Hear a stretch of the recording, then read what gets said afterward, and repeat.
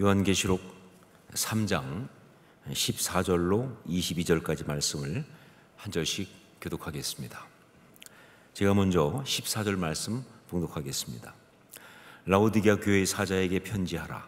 아멘이시요 충성되고 참된 증인이시요 하나님의 창조의 근본이시니가 이르시되 내가 내 행위를 아노니 내가 차지도 아니하고 뜨겁지도 아니하도다. 내가 차든지 뜨겁든지 하기를 원하노라. 내가 이같이 미지근하여 뜨겁지도 아니하고 차지도 아니하니 내 입에서 너를 토하여 버리리라. 내가 말하기를 나는 부자라 부유하여 부족한 것이 없다 하나 내 곤고한 것과 가련한 것과 가난한 것과 눈먼 것과 벌거벗은 것을 알지 못하는도다. 내가 너를 권하노니 내게서 어, 불로 연단한 금을 사서 부유하게 하고 흰 옷을 사서 입어 벌거벗은 수치를 보이지 않게 하고 안약을 사서 눈에 발라보게 하라. 무릇 내가 사랑하는 자를 책망하여 하니 그러므로 네가 열심을 내라 회개하라.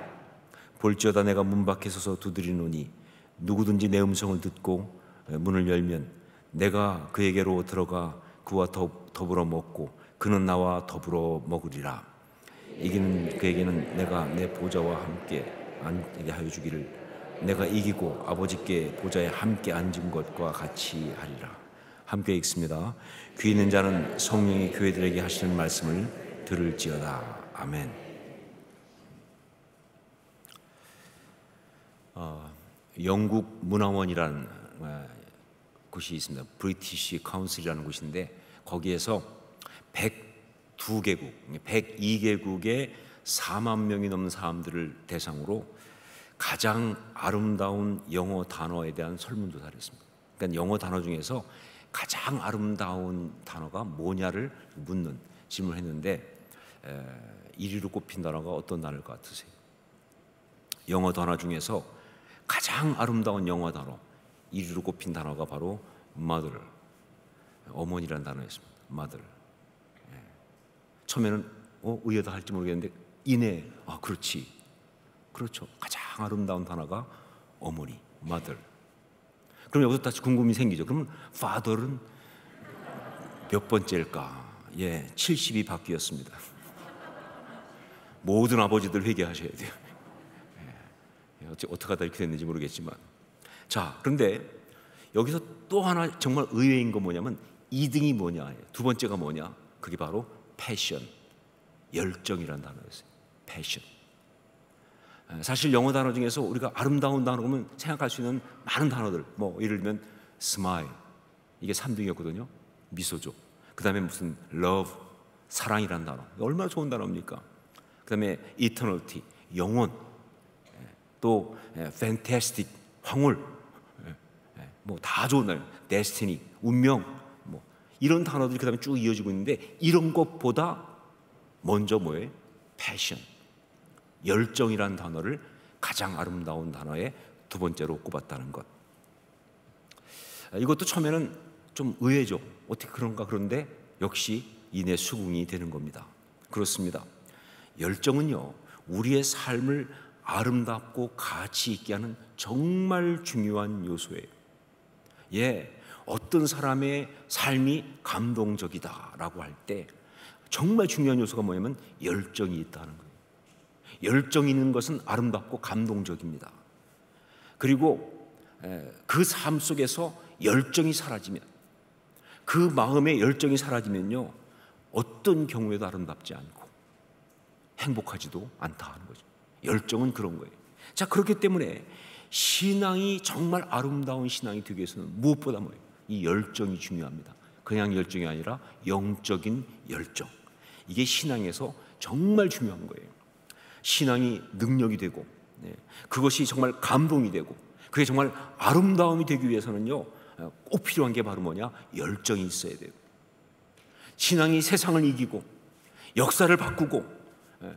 정말 사람들을 변화시킬 수 있는 힘이 있다고 한다면 그건 다른 것이 아니라 그 안에 영적인 열정이 있을 때 그때 그런 역사가 일어난다는 것이죠.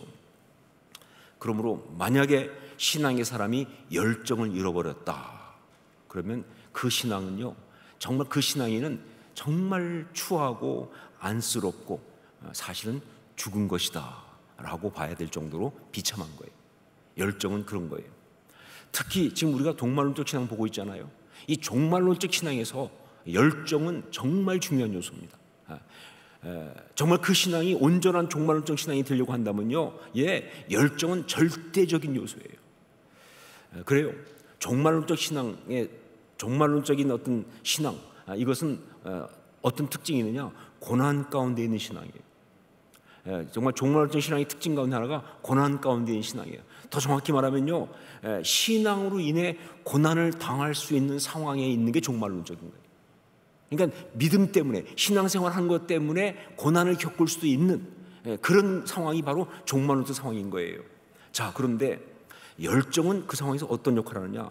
예, 바로 그 상황에서 고난을 피해서 도망치지 않는다 하는 겁니다. 그게 열정이에요. 고난을 피하여 도망친다. 고난을 피, 피해서 그냥 주저앉아 버린다, 포기한다. 그건 열정이 없는 거예요. 열정은 뭐냐? 그 상황에서 고난을 피해서 도망치지 않아요. 고난 앞에 굴복하지 않습니다. 고난에게 마주 서는 거예요. 그게 바로 열정이에요. 음. 여러분, 어, 그렇기 때문에 이렇게 말할 수 있습니다. 고난은 있으나 그 고난을 당하지 않는다는 것. 이게 이게 기가 막힌 이야기예요. 열정이 있으면요. 예, 고난은 왔어요. 고난은 왔어요. 그런데 고난을 당하지 않아요. 전 여러분이 모두가 다 그럴 수 있기를 이름으로 축원합니다. 그게 신앙인이에요, 여러분. 고난 오죠 우리한테. 그러나 당하지 않는다. 그러니까 여러분 신앙인으로서 여러분 사전에서 빼버려야 될 단어가 당한다 빼버리세요. 당한다 나쁜 거예요. 그 당한다는 뭐예요? 그거는 진짜 지는 거예요. 예, 고난은 있어요 우리한테. 하지만 당하지 않아요. 당하지 않으면 이긴 겁니다. 고난을 어떻게 이기느냐? 예, 고난이 없어지는 게 아니에요. 예, 고난이 뭐, 뭐 다른 식으로 이기는 게 아니라 고난을 당하지 않는 거예요. 고난은 왔어요. 근데 당하지 않는 거예요. 그건 승리한 거예요. 여러분 그걸 가장 잘 보여준 게 바로 뭐예요? 예수님의 십자가 아닙니까? 여러분 예수님이 십자가에서 예 엄청난 고난을 겪었죠. 아마 인간이 겪을 수 있는 고난 중에 가장 큰 고난일 거예요. 그러나 여러분 확실히 알지 않습니까? 예수님은 십자가에서 고난을 당하지 않으셨다는 사실. 그럼 어떻게 냐 감당하셨어요. 당한 것과 감당한 건 다른 거예요. 하나님의 뜻을 이루기 위해서 예 피하지 않았어요. 고난 때문에 비참해하지 않았습니다. 예, 내가 어쩌다 이렇게 됐나 말이죠. 어? 이러다 어떻게 하면 어떻게 하면 좋지 뭐 두려워 그게 아니에요. 예, 하나님의 뜻을 이루기 위해서 하나님의 뜻을 이루기 위해서 우리 십자가 앞으로 걸어 들어가셨잖아요. 네, 제가 어, 그 어, 고난 주간에 한번 설교하면서 말씀드렸지만 예, 예수님은요 놀랍게도 십자가에서 몰약을 넣은 포도주를 받지 않으셨어요. 몰약을 먹으면 왜? 그 마취되니까. 생생하게 고난을 그대로 받아들이는 거예요. 예.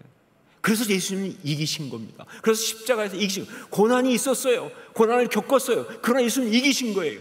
왜? 당하지 않았으니까. 이게 답이에요. 이게 비밀이에요. 예, 고난을 당하지 않으면, 예, 죄에게 당하지 않으면 그게 이기는 것이다 하는 거죠. 예, 종말론적 신앙에서 열정은 바로 그 역할을. 고난의 상황은 있지만 고난을 당하지 않게, 죄에게 당하지 않게, 악에게 당하지 않게 하는 바로 그게 열정이에요.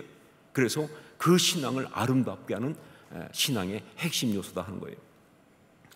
자, 그래서 어, 열정은 예, 종말론적인 신앙에서 가장 강력한 요소다라고 말할 수가 있는 거예요. 어, 우리 주님은요 예, 요한 사도를 통해서 라오디게아 교회의 말씀을 주시면서 바로 이 열정을 이야기하고 있습니다. 어, 소아시아 일곱 교회에게 준 모든 것들 다 뭐예요? 종말론적 메시지라고 말씀드렸죠. 그 중에 오늘이 이제 일곱 번째 마지막 교회예요. 그런데 그, 그 라오디게아 교회에게 준 게 바로 뭐냐? 아, 바로 열정을 얘기한 거예요. 다양한 어떤 그런 그 에, 말씀을 주시는데 그 라오디가 교회에 주신 그 말씀 바로 뭐냐? 아, 열, 영적인 열정을 회복하라 영적인 열정을 회복하라. 자, 에, 그것이 어떻게 나타나는지 보겠습니다. 라오디가 교회 주신 책망의 말씀을 보면 알 수가 있어요. 우리 에, 알고 있지만 일곱 교회 가운데서 에, 칭찬은 없고 책망만 있는 교회가 어디예요? 라오디가 교회예요. 불명의 1위예요. 그래서 예. 어떤 교회는 예, 책망은 없고 칭찬만 있는데 이거는 칭찬은 없고 책망만 있는 그런 교회 유일합니다. 자 그런데 그렇기 때문에 라오디가 교회 향한 이 책망은요 특별히 더 종말론적 신앙을 이야기하는 아주 중요한 포인트예요. 예. 자 그것을 함께 보겠습니다. 우리 15절 16절 말씀 같이 읽겠습니다. 15절 16절 같이 읽습니다. 내가 내 행위를 아노니 내가 차지도 아니하고 뜨겁지도 아니하도다. 내가 차든지 뜨겁든지 하기를 원하노라. 내가 이같이 미지근하여 뜨겁지도 아니하고 차지도 아니하니 내 입에서 너를 토하여 버리리라. 이 말씀에 대해서는 아, 여러 가지 해석들이 있습니다. 그 중에 가장 일반적인 게 뭐냐? 이거는 라오디가 교회 위치가 라오디가 교회가 있는 그 라오디게의 위치가 온천이 있는 히에라폴리스와 그리고 냉천 찬물이 유명한 골로새 사이에 있기 때문에 그래서 그 지형을 가지고 비유로 차든지 덥든지 이렇게 말씀하신 것이다라고 해석하는 사람이 있습니다. 어, 그리고 또 다른 그 해석은 뭐냐? 에, 뭐 비슷한 거지만 그 히에라폴리스 온천 유명하거든요. 거기에서 뜨거운 물이 쭉 내려오다가 라오디게 학교에쯤 오면 다 식어요. 그래서 미지근해진 그것을 갖다가 비유로 이렇게 또 이야기하신 것이다. 라는 그런 해석도 있습니다. 여하튼 간에 이 말씀의 의미는 분명합니다.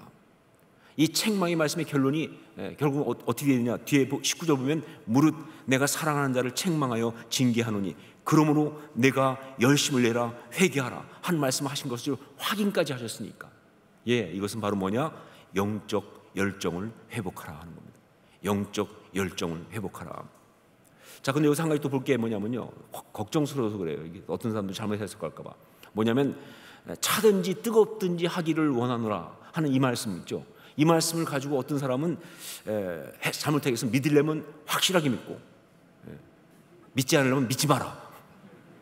아니 진짜 어떤 부흥사가 그렇게 설교하더라니까요. 실수했는지 모르지만 믿으려면 또 확실하게 믿고 아니 믿지 마. 그 뜻이에요 이게? 이게 그런 뜻입니까? 세상에 어떻게 그럴 수가 있어요? 아니 주님이 어떻게 믿지 말라고 말씀하시겠어요? 그 제가 ANC 오늘교회 있을 때 오늘교회 봄 오늘교회 표 중에 하나 뭐가 있냐면 변하든지 떠나든지가 있어요. 그래서 제가 새가족 올 때마다 그 얘기를 꼭 합니다. 우리 표는 변하든지 떠나든지. 그랬더니 어떤 사람이 시험 들어갔고 말이죠. 떠나라고 그랬다고. 어떻게 떠나라고 할 수 있냐고 막. 그럼 진짜 떠나려고 그러는 거예요. 그래서 제가 그랬어요. 아니, 어떤 목사가 떠나라고 말하냐고. 대체. 변화란 이야기지 그게. 떠나는 얘기가 아니지. 그걸 떠나라는 말을 알아들으면 그건 진짜 입장 곤란한 거죠. 그 아니 변하든지 떠나든지란 말이 이제 떠나라는 소리예요 그게요 변화라는 이야기죠 그렇죠 차든지 뜨겁든지 무슨 얘기예요? 뜨거우란 이야기죠. 차란 얘기가 아니라 예, 예수님이 아니면 차라 이 얘기 아닌 거예요 결국은 이렇게 표현한 이유가 바로 뭐냐 그렇게 표현하실 만큼 미지근한 거 견딜 수 없다 그 말입니다. 그 꼴 못 보시겠다는 거예요. 신앙생활 그렇게 하는 거 절대 용납할 수 없다는 거예요. 음. 그러니까 그 다음에 이런 표현가 있지 않습니까? 내가 이같이 미지근하여 뜨겁지도 아니하고 차지도 아니 아니하니 내 입에서 너를 토하여 버리리. 여러분 이런 얘기 들으면 절대 안 됩니다. 이건 진짜 비, 이건 정말 아, 안타까운 이야기예요. 아니 주님이 이렇게 말씀하시면 이거 어떻게 안타깝습니까? 정말 아니 주님이 내 입에서 너를 토하여 버리라. 내가 너 너에 대해서 막 토하고 싶다. 토해 버리겠다는 거 아니에요. 여러분 그래요. 신앙인이 열정을 잃어버리고 미지근한 채 있는 것은요. 정말 우리 주님이 참아 주실 수가 없어요. 정말 용납하실 수 있는 게 아니라는 거예요. 근데 이게 문제가 뭐냐면요. 당장 볼 때는 아무 문제가 없어. 안 믿는 것도 아니고. 믿잖아. 교회 안 오는 것도 아니고 오잖아. 열심히 안 올 뿐이지. 그러니까 큰 문제가 없어 보이는데 사실은 문제가 있는 거예요. 이건 정말 안타까운 상황이에요. 이건 정말 안쓰러운 상황입니다. 뿐만 아니라 도와줄 수 없을 만큼 역겹다 하는 거예요. 그래서 이것을 주님께서는 17절, 18절 말씀에 그대로 드러내고 있습니다. 17절, 18절 말씀 같이 읽겠습니다. 내가 말하기를 나는 부자라 부유하여 부족한 것이 없다 하나 내 곤고한 것과 가련한 것과 가난한 것과 눈먼 것과 벌거벗은 것을 알지 못하는도다. 내가 너를 권하노니 내게서 불로 연다는 금을 사서 부유하게 하고 흰 옷을 사서 입어 벌거벗은 수치를 보이지 않게 하고 안약을 사서 눈에 발라 보게 하라. 영적인 열정을 잃어버린 채 미지근한 상태로 있는 것은요. 예, 말씀드린 것처럼 당장 볼 때는 크게 문제가 없는 것 같아서 괜찮은 줄 알지만 더 기가 막힌 건 본인 스스로도 괜찮은 줄 알아요. 이 정도면 뭐 그러니까 그러니까 그 모양으로 있는 거죠, 그렇죠? 그런데 정말 이거는 너무나 가련한 거예요. 너무나 수치스러운 거예요. 불쌍한 거예요. 절대 그냥 둘 수 없는 아주 비참한 거예요. 자기는 스스로 모르고 있지만 아니 그렇지 않다는 거예요. 그러니까 더 안타까운 거예요. 이게 바로 영적인 열정을 잃어버린 채 있는 그 미지근한 거예요. 무엇보다 이게 더 심각한 문제가 되는 게 뭐냐? 이게 종말론적인 상황에서는요, 이런 미지근한 신앙 가지고는 절대로 신앙을 지킬 수 없고요. 그리고 영적으로 살아남을 수가 없습니다. 예, 그냥 변질되고, 예, 그냥 무너지고, 그냥 패배해가지고, 예, 마귀의 밥이 되는 거예요. 그래서 이것이 정말 문제가 되는 거죠. 여러분, 열정이 없으면 신앙 못 지킵니다. 신앙은 가만히 있어도 지키는 게 아니에요. 여러분, 신앙은요, 열, 믿음의 열정이라는 엔진이 돌아가야 그래야 버틸 수 있는 것이지 아니면 떠내려가는 배와 같아요. 열정이 없으면 신앙 못 지킵니다. 열정이 없으면 핍박 이길 수 없어요. 미안하지만. 열정이 없으면 좁은 길을 절대로 걸을 수가 없습니다. 끝까지 그 길을 갈 수가 없는 거예요. 이 시대를 종말론적 시대라고 한다면 정말 말세 지말이라고 한다면 이 시대의 신앙인에게 정말 필요한 게 바로 뭐냐? 예, 무엇보다 영적인 열정을 회복하는 게 정말 필요하단 말이에요. 여러분 한번 생각해 보세요. 소아시아에 있는 일곱 교회 중에서 지금 이 시대의 한국 교회, 우리 우리 이 시대의 교회와 가장 비슷한 교회를 하나 꼽으라면 어떤 교회 꼽, 교회를 꼽겠어요? 제가 지금 지금 이걸 묻는 건 어떤 교회인지 아시는 거죠, 그렇죠? 근데 꼭 그래서가 아니라 누가 봐도 그래요. 라오디게아 교회 아닙니까? 경제적으로 풍요로워요. 문제가 없어 보여요. 잘 믿는 것 같이 보이는 것, 것도 많아요. 그러니까 그러니까 라오디게아 교회가 가장 비슷한 거예요. 특히 지금의 한국 교회. 제가 미국에서 20년 동안 목회하다가 한국으로 왔잖아요. 벌써 6년 반 전에 왔어요. 근데 한국에 오니까 뭐 여러 사람들이 저한테 자꾸 묻더라고요. 20년 만에 한국에 오시니까 한국 교회가 어떻게 달라졌느냐, 어떠냐, 뭐 등등 물어봐요. 사실은 뭐 그 사이 계속 왔다 갔다 했으니까 그렇게 한 번도 안 왔던 건 아닌데 그래도 하여간 좀 어, 와서 보니까 다를 수밖에 없죠. 예, 제가 볼 때는 20년 어, 전이나 어, 뭐 20년 후나 크게 달라진 게 없어요. 특히 놀란 게 뭐냐면요. 20년 전에 제가 했던 프로그램을 20년 후에 똑같이 하고 있어 계속. 예, 뭐 계속 같은 스타일이에요. 뭐 모든 게 예, 거의 뭐 특별히 차이고 외형적으로는 좀 더 커졌죠. 예, 그리고 뭐 여러 가지 면에서 그런데 결정적인 문제가 뭐냐? 열정이 사라졌어요. 이게 무서운 거예요. 한국 교회가 뭐가 문제지? 열정이 사라졌어요. 그때와 똑같은 톤으로 찬양하는데 열정이 없어요. 똑같은 스타일로 기도하는데 열정이 없어요. 신앙에 사람들이 모이기도 하고 그러는데 열정이 없어요. 예. 정말 한국 교회를 그렇게 아름답게 했던 열정이 사라졌어요. 그러니까 답답한 거예요. 그러니까 정말 뭔가 이게 잘못했다는 느낌이 드는 거예요. 이게 한국교회 문제고 한국교회 성도들의 문제예요. 예. 영적인 열정을 회복하는 게 어떤 면에서 이 시대의 한국교회의 가장 중요한 주제가 아닐까 싶은 거예요. 자, 그렇다면 영적인 열정 회복하되 구체적으로 어떤 것을 회복해야 되는가?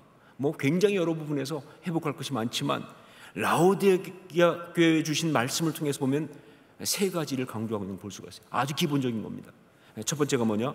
기도의 열정을 회복해야 한다는 겁니다. 기도의 열정을 회복해야 합니다. 우리 14절 말씀을 함께 읽겠습니다. 14절 같이 읽습니다. 라오디게아 교회 사자에게 편지하라.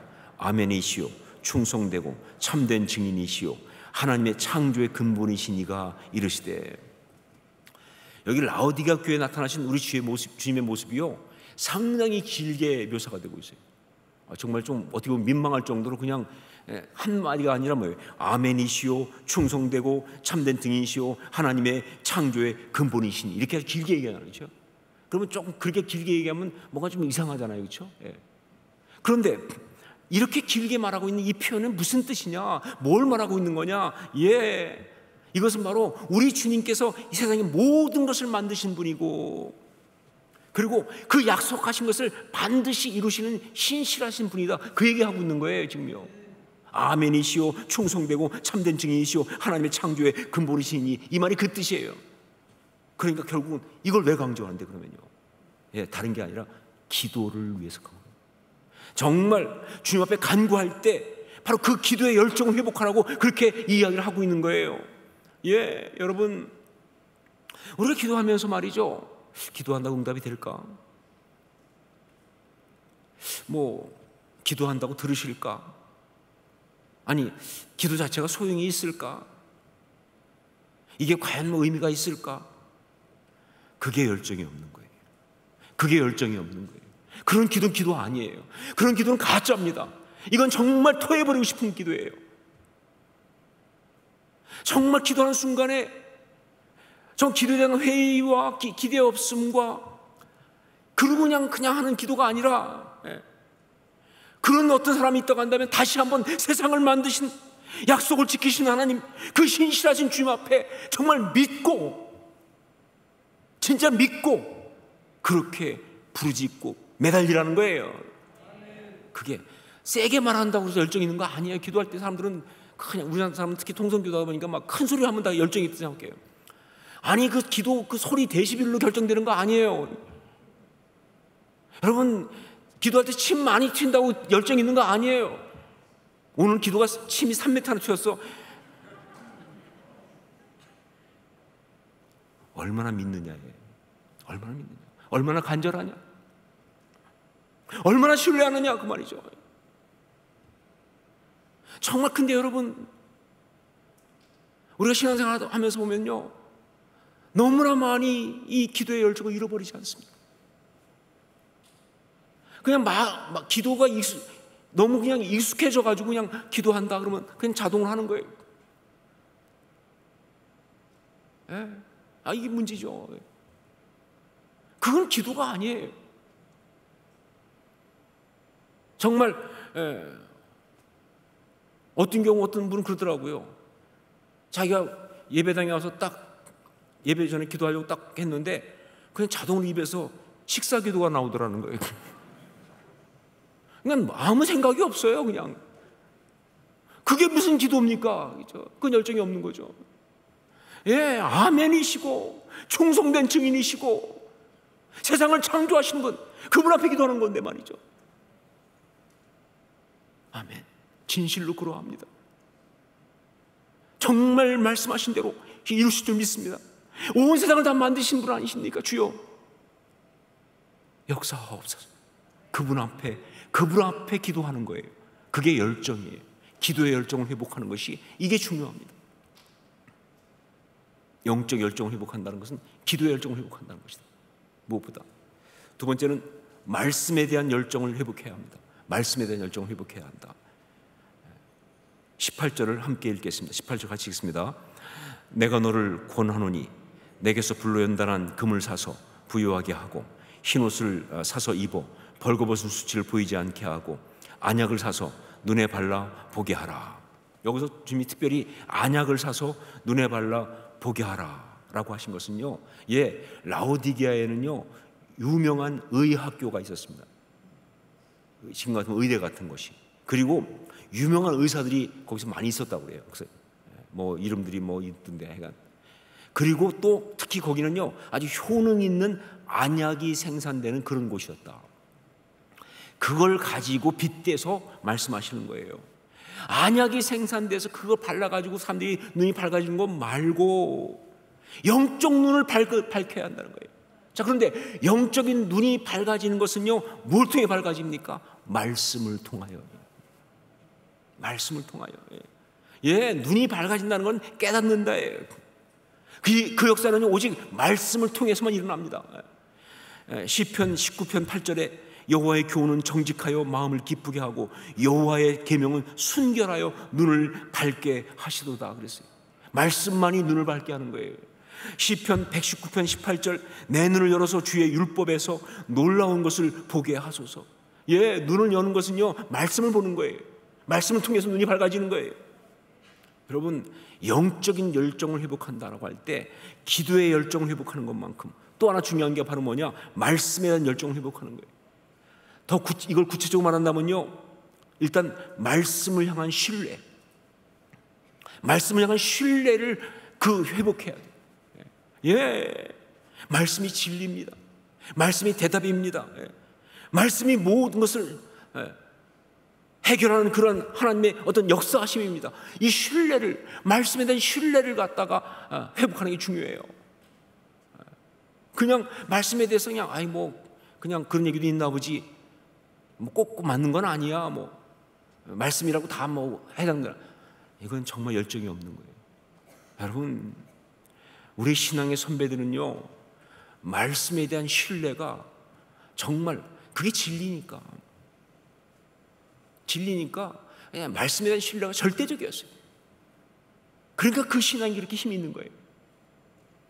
두 번째는 말씀을 사랑하는 것.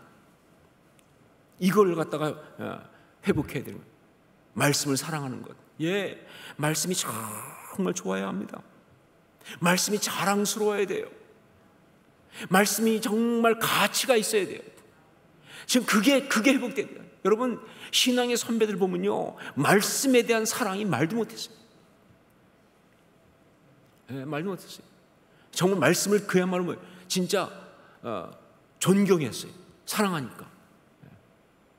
그래서 원래 뭐 지금도 그런 사람이 있지만 많이 있지만 어, 이전에는요 말씀을 읽을 때는 다 자리에서 일어났어요. 그냥 앉아 읽는 거 아니에요. 말씀을 어떻게 너무 귀한 말씀이니까 그냥 자리에서 일어나서 읽었어요. 저도 꼭 해보고 싶은데 안 하고 있어요 제가. 예, 제가 언젠가 할지 몰라요. 막 감독이 오면 왜 왜 안 하고 있느냐 이유가 있어요. 혹시 그것도 습관돼 가지고 몸만 일어서고 진짜 말씀에 대한 가, 전혀 경향 없이 일어서는 그꼴 볼까 봐 두려워서 그래요. 차라리 그냥 앉아 있는 게 낫지. 딱 말씀을 예 말씀을 읽겠습니다. 말씀을 읽기 위해서 우리가 말씀 앞에 다 일어섭시다. 다 일어서 가지고 딱 읽고 뭐. 폼은 굉장히 말씀을 존중하면서 폼은 말씀을 정말 경외하는 것 같은데 마음에 아무 생각이 없어요. 진짜 말씀에 대해서 별로 관심이 없어요. 아, 그냥 무시도 아니고 개무시해. 습관이 돼가지고. 그럼 진짜 더하죠. 차라리 안 일어서는 게 낫지. 아, 얘 정말 그렇습니다. 제가 그래서 못 일어서고 있어요. 어느 날 성령이 저한테 감동 주시면 그래도 일어서라 그러면 일어설 거예요, 이제. 준비하고 계세요. 말씀은요, 말씀에 대한 사랑. 여러분, 그 한때 굉장히 은혜를 끼쳤던 그 헤븐리 맨이라는 책이 있죠, 그렇죠? 하늘에 속한 사람. 네. 그 인간 브라더 윈 거기 보면 나오지만 말씀에 대한 그 사모함이 말씀에 대한 그 이 간절함이 정말 상상을 초월합니다. 그러니까 막 기적이 일어나잖아. 성경을 읽고 싶은데 못 읽으니까 막 말씀에 대한 사모. 근데 기적이 일어나잖아. 그게 신앙이죠. 그게 맞는 거죠. 그렇죠? 예. 그게 열정이에요. 말씀에 대한 열정. 그리고 또 하나 말씀을 즐거워하는 마음. 여러분 솔직히 생소하지 않으세요? 시편에서 뭐 보면 뭐 말씀이 꿀과 송이 꿀보다 달도다. 좀 생소하지 않으세요? 뭐 이렇게 표현을 그렇게까지 했을까? 뭐. 여러분 생소한 우리가 잘못된 겁니다. 그 표현이 맞는 거예요. 그거 비유 아니에요. 진짜입니다. 말씀이 너무 다른 거예요. 말씀이 너무 즐거운 거예요. 말씀이 그렇게 즐거울 수가 없어요. 왜? 영이 살아나니까 말씀 앞에서. 그냥 그 말씀 하나가 생각하고 묵상할 때마다 그냥 정말 예 접이 나오고 또 나오고 또 나오고 정말 그 그런 감격 그런 기쁨이 그게 원래 말씀이에요. 그 열정을 회복해야 돼. 그것이 열정을 회복하는 것이다. 말씀에 대한 열정을. 세 번째는 예배에 대한 열정을 회복해야 한다. 예배에 대한 열정을 회복해야 한다. 뭐 영성이 기본이죠. 기도, 말씀, 예배. 그렇죠? 예배에 대한 열정을 회복해야 한다. 우리 20절 말씀을 함께 읽겠습니다. 20절 같이 읽습니다. 볼지어다 내가 문 밖에 서서 두드리노니 누구든지 내 음성을 듣고 문을 열면 내가 그에게로 들어가 그와 더불어 먹고 그는 나와 더불어 먹으리라. 여러분 요한계시록 3장 20절 말씀은요 정말 유명한 말씀입니다. 진짜 어떤 때는 이 유명한 말씀이 라오디가 교회에 있다는 것 자체가 좀 섭섭할 만큼 유명한 말씀이에요. 예. 얼마나 유명하냐면요. 이 말씀을 가지고 그린 성화도 유명할 정도예요. 예. 그 어, 윌리엄 홀맨 헌트라고 하는 사람이 유명한 성화를 그린 사람인데 그린 The Light of the World라고 하는 그런 그 그림이 있어요. The Light of the World.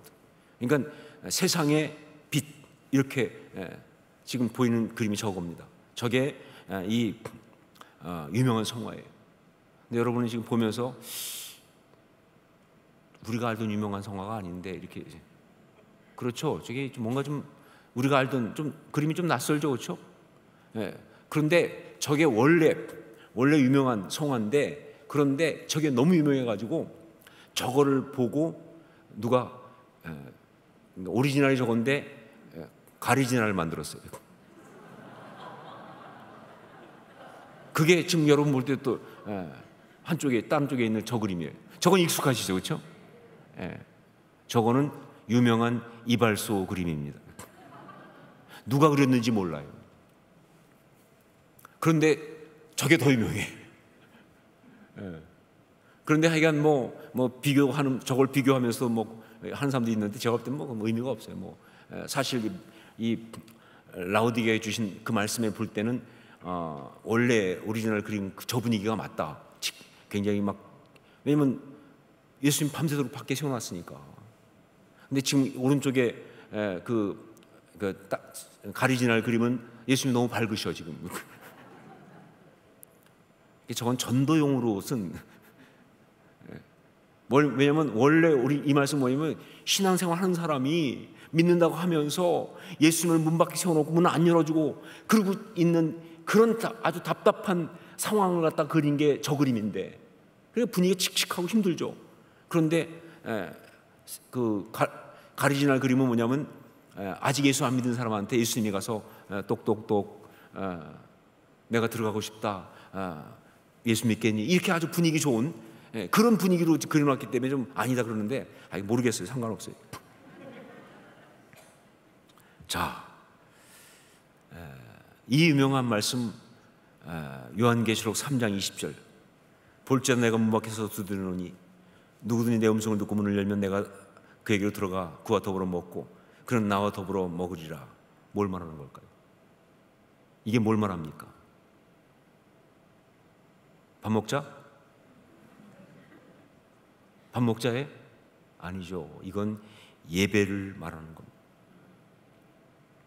왜냐하면요, 주님을 모셔드리고 주님과 함께 더불어 먹는다는 것, 이것이 그 당시로 볼 때는 뭘 말하면 클리네라고 하는 겁니다. 클리네.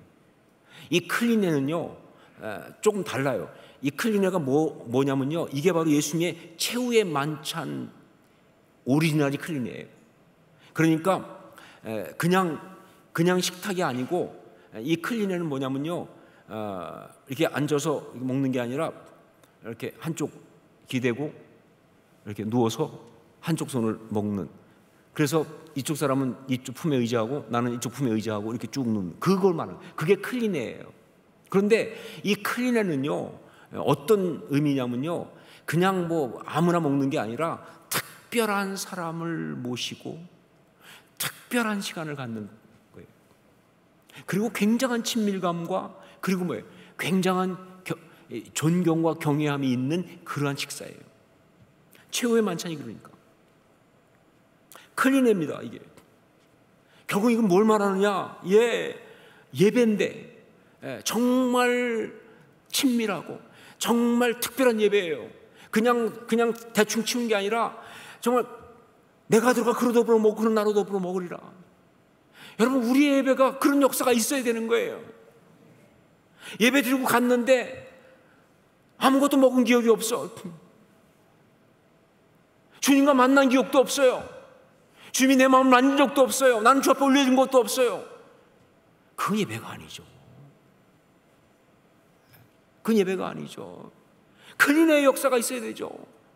예, 가서 정말 가까이 있으면서 서로 있으면서 그 먹을 것을 서로 주고 나누고 먹으면서 정말 기가 막힌 친밀감과 정말 아름답고 행복한 시간과 정말 그런 어떤 영적 공급이 일어나는 그런 기가 막힌 교제가 있는 그런 예배를 드려야죠.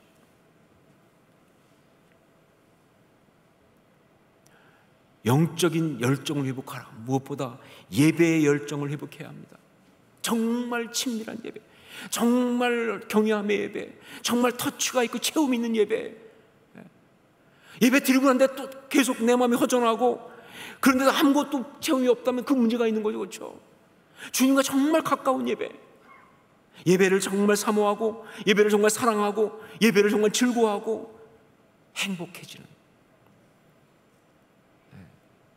여러분 그 코로나 때문에 우리가 어, 모임 못하고 그러다가 예, 다시 모이니까 사람들이 너무 좋아하더라고요. 아 정말 좋아. 근데 그때보다 더 좋아한 데가 언제냐면요. 식당에서 밥 먹었을 때. 야, 우리 모여가지고 밥 먹고 간식도 먹으니까 진짜 이거 느낌 난단 말이죠. 클리네가 그게 클리네. 그런 예배입니다. 예, 정말 함께 주님과 그는 나로, 나로 더불어 먹고 나는 그와 더불어 먹으리. 내가 들어가. 그런 역사가 그런 역사가 예 예배 때마다 심령 심령 가운데 그런 역사가 일어나는 거죠. 내가 들어가.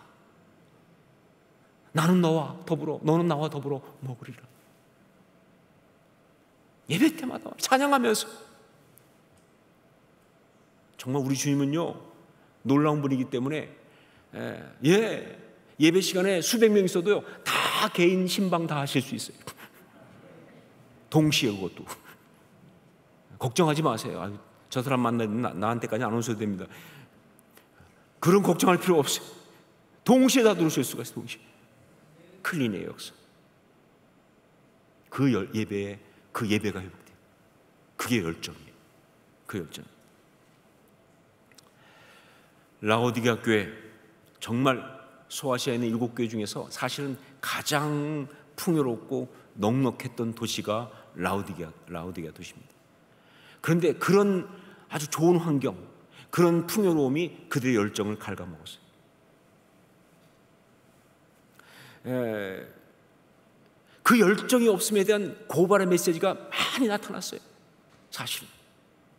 저는 지금도 많이 봅니다. 예, 지금도 보면 성도 중에서 정말 뜨겁던 신앙들을 다 잃어버리고 있는 분들도 지금 보면요. 뭐 정말 어떻게 하다 보니까 뭐 아, 모든 게 다 편안해져 보니까 그 옛날에 그렇게 간절했던 기도, 그게 정말 어, 말씀에 대한 그 사모함 없어졌어요. 그런데 다들 말은 해요. 아, 그거 회복해야 되는데. 아, 그거 옛날엔 정말 뜨거웠는데 그 신앙 다시 사야 되는데. 말은 다 그렇게 해요. 왜 사인을 알아요 본인도 이게 뭐가 문제가 있다는 거예요. 근데 사인만 보고 말면 안 되죠. 영적인 열정을 회복해야죠. 예. 영적 열 정을 회복해야 합니다. 이게 한국 교회 지금 숙제예요. 이게 우리 호산나 교회 숙제예요. 여러분들의 숙제예요. 이거는 그냥 어, 선택사항이 아니라 이건 절대적인 정말 절대절명의 어떤 그런 예, 과제입니다. 우리가 풀어내야 된다고 말이에요. 이거 회복 못하면요, 우리한테 소망이 없어요. 뭐 부흥 그런 소리 하지 마세요. 뭐 자꾸 부흥 뭐 숫자에 아니요 그보다 이게 회복돼야 돼 이게. 지금 숫자가 부족해서 교회가 문제 있는 거 아니니까 열정이 회복돼야 돼요. 심령 심령마다 말이죠. 열정이 회복돼야 돼요. 이런 영적인 열정, 기도의 열정, 말씀의 열정, 예배의 열정을 회복하는 우리 모두가 될 수 있기를 주의 이름으로 축원합니다. 이게 오늘 메시지입니다.